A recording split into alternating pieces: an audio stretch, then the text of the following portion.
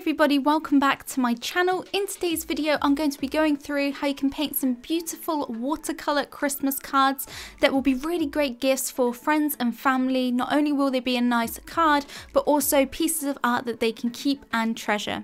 So I'm going to be going through how you can paint a polar bear, a robin, winter trees, and also a bauble on a nice Christmas tree with a snowy tree branch as well. So anyway guys, let's get straight into it. First I want to take you through how to make the actual cards. So for this I am using the Arches cold pressed watercolour paper, but you can use any watercolour paper that you have. And I start off by measuring the width and height to see what size the paper is. And now I want to do my Christmas cards as squares, so you want the width to be half the size of the length so that when they fold they are square. So I am doing mine 15 centimeters by 30 centimeters. Then you want to repeat the measuring out process with as many cards as you want to make. So I'm going to be doing four in this tutorial. I know it looks like I have three because I was only going to do three, but then I decided to do one more for you guys. So as you can see, I've just measured out the line where it's 15 centimeters for the width. Now we need to cut these out and get rid of that excess watercolour paper. So I'm taking my knife and I'm doing this on a cutting mat to make sure that my desk isn't ruined and I'm just going to go ahead and use my Stanley knife to cut off that excess paper so that we have a really nice 15 centimeter by 30 centimeter sheet. Again, I'm repeating that for all of the four cards that I'm going to do this with. Now that we've cut all of our cards out, it is time to actually fold them up to make them into cards. So I'm going to take each one at a time and just very carefully fold them up. And to do this, I just match up the edges first and then push down to create that nice fold. It's pretty simple, not much else to say about that. But again, just repeat that process for all of your cards and then you'll have a lovely blank card to paint on top of. So once we've got all of these prepared, we're going to get straight into our first painting, which is going to be the polar bear. This is my favorite one of the four. I personally love this one, so I decided to put it first. I'm starting off by using washi tape to give a nice border to the painting and the card. And you can see that I've already done the sketch and it's just a polar bear on snow. And I'll leave in the description a link to the website where I got these references from. For the first three anyway and then I use a different reference for the fourth one. So I'm going to be using my Cotman watercolours for this and I'm first going in with some dark blue and I'm just going to be using this colour actually for the whole of this painting so it really is simple. And I pre-wet the sky bit of the painting and I'm just going in and tapping in this blue tone for the shadows of the sky. You can see I'm going horizontally and because it's wet it really bleeds out the paint nicely so it looks so nice and smooth and there's no harsh edges. I'm then intensifying some areas with a darker, more concentrated version of that same colour and just tapping these into a few areas. And that's literally all I'm doing for the sky, but to create a really cool pattern, I'm going in with some table salt and just sprinkling that all over the background. And this really does work magic as you'll see when it's dry. But just sprinkle it all around, just everywhere evenly. And now I'm going in and working on the snow. Now I didn't pre-wet the snow at all, I'm working wet on dry and I'm just using that same colour to actually go in and paint in some shadows for the snow. Again, you can see I'm pretty much just doing lines that are curving with the shape and the dips of the snow. And I'm being quite loose and a bit messy with it. I'm trying to have fun with these. You want to not worry too much about it, just have fun and be creative. I'm also darkening up a few areas as well, just a couple here and there, just to create a bit of contrast and variety. Now to go into the polar bear. The darkest areas for the polar bear is the eye, the nose and also the ear. So I'm first just painting them in very carefully with a small paintbrush. And then I'm going in and starting to paint in the shadows to give structure to the face. As you can see, my paint isn't as concentrated when I'm doing this. And I'm just basically mapping in the basic shapes. I'm not worrying too much at all about detail. This is not trying to be a realistic piece, well, photorealistic. It's trying to be fun and very loose and expressive. So I'm just mapping in the basic shadows and anatomy of the polar bear. I'm not trying to doing every little fur stroke. I'm building up some more intense shadows on the polar bear as well. For example, between the toes on the feet of the polar bear, just getting in them, and also some of the darker shadows. Again, the link for this reference is in the description so you can see exactly where the shadows on the polar bear are. There's a lot of shadow underneath by the neck and the body of the polar bear and there's quite a bit of shadow on the legs as well. Now I want to just add a couple of highlights so I'm going in with my white gouache and I'm just using this to really brighten up a few areas. For example the ear where it kind of got covered by the background and also adding a few highlights to the snow. But really, as you can see, I left a lot of the white paper showing through, which does make it really, really nice and bright. So you don't have to paint in everywhere. It's good to leave certain areas white. I'm also going in with a fine liner and just outlining the polar bear a bit. You can see how beautiful the effect that that salt created. It's so nice, so beautiful. One of my favourite things to do, especially for a snowy effect. And so that is pretty much it for the first painting. This was by far the quickest of the four. It took me under an hour to do this and it was very simple but as you can see the result is so beautiful and definitely something that a family member or a friend would really really love. Now, just before we move on to our next painting, if you guys are finding this a bit fast and you really want to follow along in real time, get access to the sketch outline and reference and materials list, then I do have all four of these available on my Patreon in real time with all of the resources you need. And just for a small amount per month, you can get access to these tutorials as well as over 300 other real time tutorials for watercolors, colored pencil, and charcoal. My Patreon is basically where I upload all of the full real time with voiceover tutorials to. So at the top of the description, you'll see a link. You can go over there and check it out and see exactly what I have to offer. But there are over 300 tutorials on there that you can follow along to, and I do talk through my whole process. So you really can learn to improve your skills and techniques, not only for painting, but also for drawing as well. So I really recommend you guys checking that out if you want to be the ultimate student. But anyway guys, let's get back to the tutorial. So now let's move on to our second painting, which is going to be a robin. And I thought I'd include a clip of me sketching this one out for you guys. So it's just going to be a simple robin on a branch with snow on top of the branches, of course, because it's Christmas. But I'm going to mainly be doing greens and oranges for this, for the background. So with this one, I am starting off by pre-wetting the whole of the painting, even the robin, just wetting the whole thing. And I recommend using a large brush for this, it makes it faster. And then because it's wet, we're going to use the wet on wet method. This is really great if you want soft backgrounds. And I'm starting off by going in and adding greens to the background. So I'm doing this on basically all four corners really and again I will link the reference so you can see exactly what I'm following along to. I then want to add some darker greens and I do like to work from light to dark with all of my paintings. And as you can see I'm also leaving areas where I'm not adding any paint. Those white areas in between and that really does help with the highlights. You need to preserve the highlights because all you can do is go darker with watercolours. It's very hard to then get it back to light. I then waited for it to dry, I pre-wet the whole thing and as you can see I'm building up even more shadows with dark greens and even mixing in a bit of brown as you can see. As well as the green, I also want to go in and add some golden tones to make this more Christmassy and not just to make it boring and green. So I'm just tapping in some gold. You can see I'm basically just splattering it in there and because it's wet, the paper already, they will nicely disperse out to give some really nice soft effects. I'm also splattering in a bit of gouache as well and I'm tapping in even more gouache to give these sort of snowflake effects. As you can see they're so beautiful. Now with gouache, it does dry darker than it looks when it's wet. So even though these like snowflake effects look quite bright at the moment, they will dry a bit darker and a bit more subtle. So I'm just tapping in a bit of more opaque gouache into the center just to make them a bit brighter. And because the gouache is wet, these will disperse out a bit and not be so harsh. I'm also adding some gouache to the top of the branches and I'm splattering even more of it into the background again to give more of a snowy look to the background.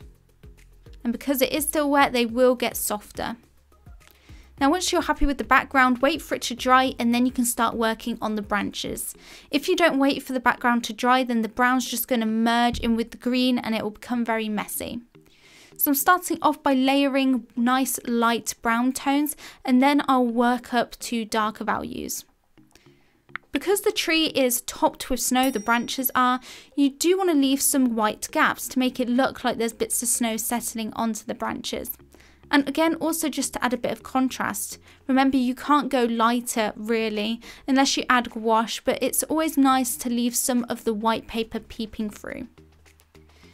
As you can see, I'm darkening up the bottom of the branches and I'm mixing some darker paint and I'm going to go in and start to paint in the robin now. So the darkest areas on the robin are the eyes and the beak and that's where I like to start. I always like to start by getting in the eye. And then I'm going to work on the chest of the bird, which is very much warm tones. So I'm mixing in a lot of oranges and just tapping in lots of that colour as well. You can see I'm wetting the area first and then tapping in the oranges and because it's wet that area will bleed out. I'm slowly getting darker with the colours as well so you can see that I'm building up to darker reddish brown tones which I'm using to get in the shadows for the bird. And even though we're doing a very loose style, it is still very important to get in main core shadows for an animal in order to make it still look realistic to an extent and 3D, otherwise it's just going to look flat. I'm working on the rest of the bird, which is brown. I'm also adding in some blues just to add a bit more vibrancy there. And I'm slowly building up to darker values. I'm now going and finalising some details on the branches and adding some gouache to top the branches with snow. Now when I want something to look really white, I make sure that I'm not mixing in too much water into the gouache, otherwise it won't be as bright as it looks when it's wet. So you may think this looks bright enough, but if you have a lot of water, it will dry a lot more subtle. So make sure if you want something to be really opaque, don't mix in too much water into your gouache. You can see that I'm adding a few snowy branches into the background I really wanted to give this painting a nice Christmassy, festive vibe, so instead of just doing a robin, I thought it was important to add snow to the branches and to find a reference that had a lot of snow in it as well with the robin. I'm also adding a few little highlights to the robin itself. As you can see, I'm using the gouache to create a few little feather details. And I'm also going in and darkening up the background to make the bird pop a bit more by adding more contrasting colours next to the bird. So I'm darkening up the background and I'm also just going in and you know, tweaking things a little bit until I'm happy with them, adding a few little signature white splatters, which I do with every painting. But that is pretty much it for the Robin for this second painting. I really love how this one turned out. I think it looks really nice and cute and festive. So now let's move on to our third painting, which again is just going to be using one colour, very much like the polar bear. It's going to be using the same colour and we're going to be painting some wintry trees. I'm starting off by wetting the whole of the paper and then I'm taking that same dark blue colour as we used for the polar bear painting and I'm working this throughout the sky and also for the snow as well. And you want to build up shadows within the snow even though snow is white there's still going to be shadows to create the look of ripples of snow and you know where the snow falls and layers and creates dune-like shapes. I'm also intensifying it with some more concentrated paint and then I waited for that all to dry so we can build up a second layer. I pre-wetted the whole of the area again and I'm just basically using darker versions of that colour just to darken up areas. I do it very slowly as you can see, very much in layers and now I'm just working that paint through the darker areas. Once again adding another layer with really intense dark versions of that dark blue now. And you can see that I'm working horizontally but at an angle throughout the sky. I'm also now going in and painting in some of the shadows for each of the trees. We're going to be painting very snowy trees. So all of the branches are covered in snow. So we're going to be using a lot of white gouache, but there are shadows in between each of the branches that I wanted to get in as well. I'm also creating a bit more shadow around the edges of the branches on the edges of the trees so that when we have our really bright tree it stands out. If the snow's white against the white tree it's not really going to make the tree stand out because everything will just merge in together. So if you're painting something that's really light, like snowy trees, you want to make sure that the areas next to them, like the sky, are darker in order to make the trees pop. So you can see that I'm going in again, working some darker colours throughout the sky, and I'm just dropping in some of the white gouache like we did with the robin painting in order to create a very soft snowy appearance to the painting. I'm also using the gouache to add highlights to the snow as well, and to create some splatters. These will become a bit softer as well because the painting is wet. Now I want to go and add all of the snow to my trees so I'm using very thick opaque gouache and you can see that I'm just tapping it on to each of the branches. I do go horizontally when I'm doing that as well. Again, have fun with this. Don't worry too much if things aren't perfect. There's a lot of randomness with trees. They're not all the same. So you don't need to make every single tree look exactly the same. And you can see that I'm using a detailed brush just to tap on the gouache working on it branch at a time. I'm really looking at my reference to see how the branches basically are, you know, how they're arranged on the tree. I'm then working in between, I wait for that to dry and I'm working between all of those branches with even more of the dark blue paint to add more sort of dimension to the trees. The snowy branches aren't going to stand out if they're all just snowy. You need to have dark shadows in between them in order to make the snowy branches pop. I'm now going in with even more of that dark blue and I'm working it around the top of the trees, you know, adding some more shadow throughout the sky. To really add more contrast to the sky, I was feeling like it isn't quite dramatic enough. And it's really important if you're doing like a monochrome painting that you do have all different values of that colour. Not just the really highlighted areas, but you also need some intense shadows as well. So as you can see, I'm working in some more shadows throughout the painting, for example, for the darkest ripples of the snow. I'm also now going to build up some more highlights throughout the snow.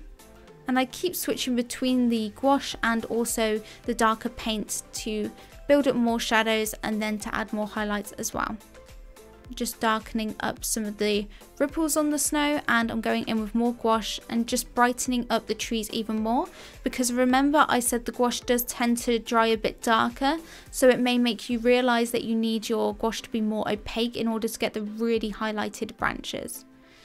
Finishing off with a few nice white splatters and I'm taking a white gel pen to make even more tiny details like bits of snow. But that is pretty much it for our third painting. Again, remember all of these are available in real time over on my Patreon. Just removing the border, that is one of the most satisfying parts for me. I love removing the tape and seeing that nice crisp edge. I really loved how this one turned out in the end. It's one of my favourites for sure. And now let's move on to our fourth and final painting, which is this more colourful bauble ball on a Christmas tree painting. I'm starting off with masking fluid and I'm using this to mask in areas that are more detailed, for example the gold on the ball and also bits of snow. So areas that I want to preserve whilst I work on the rest of the painting. So this could be details that you want to preserve or highlights, for example the bits of snow on the branches. I then wait for the masking fluid to dry and I go in and I pre-wet the whole of the paper once more. I do like to work wet on wet to start off with, especially with backgrounds. I'm mixing up a very dark green for the background, so this is the areas in between the branches. And in my reference that I took of my Christmas tree, it was very dark in between these areas. So I'm going straight in with some darker green paint by mixing a bit of green and that darker blue that we used before, and even a bit of brown. I'm intensifying it even more with a darker version of that colour. I'm now mixing up some gold and I'm adding this where I could see some of the lights, the Christmas lights showing through and giving that nice golden glow. And I'm also adding in some red for the blurred out red Christmas decoration in the background. I'm working even more on the Christmas decorations in the background. For example, there is this gold bauble ball that I wanted to build up more brown tones around the edges. And also with the red bauble, ball I wanted to add some darker reds as well to give them more of a 3D look, even if they are blurry.